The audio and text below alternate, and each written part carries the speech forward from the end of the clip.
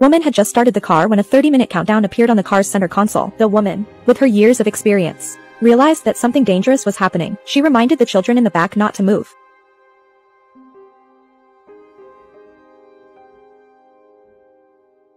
Then the woman asked her husband to check the car for anything suspicious. Soon the husband got a picture, but what they didn't expect was that the new car they bought yesterday had been tampered with today. Two anti-tank mines had been installed under the car. That is to say, a roll of the window and opening of the door or even a sudden reduction in the weight of the car body bombs will be detonated. All they can do now is to stay in the car quietly. Suddenly, the woman noticed a flashing light in front of the transmission. She carefully pushes open the cover. Inside was a sensor device. What surprised the woman was that she had seen it somewhere before. It was obvious that someone was trying to kill her. The woman could only emphasize again to the children in the back row not to move. By now, five minutes have passed. The woman called her coworkers for help, describing the situation in detail. A few minutes later, David arrived with specialized equipment for mine clearance. He quickly assembled the equipment with skillful hands. He then searches the underside of the car. The first step is to determine the exact location of the minefield. Then he puts a mobile detector underneath the car. As the equipment gets closer to the target, they finally find the main control box for the timing module. But David is confused. He showed the photo to the woman. It turns out that this module is also manufactured by his own company. The woman hesitated for a while and then called her boss. But to her surprise, the phone rang in the trunk. The woman asked her son to pull out the center seat.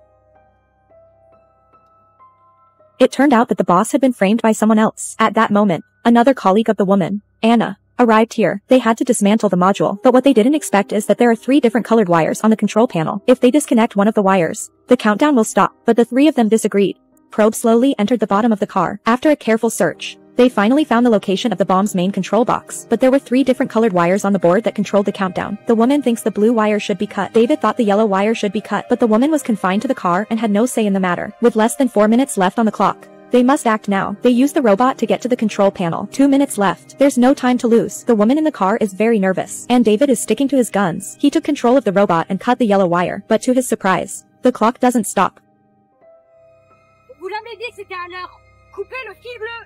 David didn't have time to think. He had to do it himself, but he can't tell if it's the blue wire or the green wire. At this point, everyone is incredibly nervous. If there's a mistake, everyone will die. There are still 59 seconds left, but David's arm suddenly shook. It's an occupational disease. Whenever he's nervous, his arm will shake. There are still 20 seconds left. Anna realizes that it's too late if she doesn't act. She went under the car too. The clock finally stops at 4 seconds. It turns out that cutting the green wire was the right thing to do, but they're only controlling the timing of the explosion. But the danger wasn't eliminated. All they had to do was roll up a window, open a door or suddenly lose weight, and the car would still detonate. Just then, there was a cry for help from the trunk. It turns out the boss isn't dead.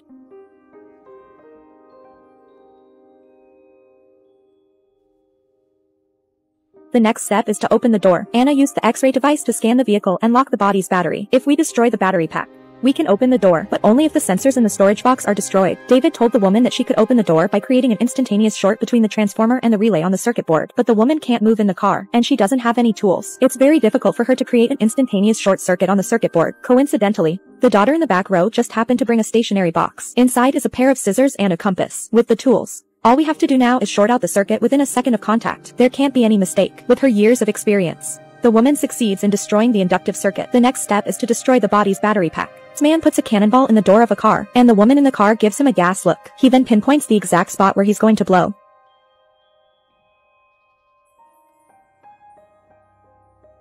And the door opens, but everyone can't get out of the car right away. The weight of the car could be reduced and it would explode, so Anna got underneath the car and used the airbags to press on the side of the bomb. The maximum elastic weight can only be increased to 40 kilograms. In other words, the bomb won't explode if you take anything less than 40 kilograms out of the car. The two children in the back are both in the 40 kilogram range, but for safety's sake, the mother asked David to take her daughter out of the car first, but the mother's decision was strongly resented by the son. Now there are three other people in the car. By placing weights of the same weight on different parts of the car, all three people can get out of the car, but the problem is, the weights must be placed and the three people must get out of the car on the same timeline. After careful calculation, the maximum error must be within 3 seconds. That's the only way. Soon, Anna begins to position the weights ready to be dropped. Because one of the weights had to be hung next to the bomb, David had to get under the car. Everything is ready. Then all three of them slowly sat down on the side of the car, ready to jump.